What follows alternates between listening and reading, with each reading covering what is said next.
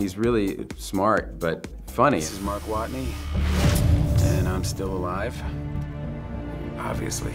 The character does kind of methodically go about uh, saving his life, and he does it kind of through science, but but in science that's that is easy for people like us to grasp. In the face of overwhelming odds, I'm left with only one option. I learned how to grow potatoes because we had to actually grow potatoes for the for the scenes. We had a whole little potato farm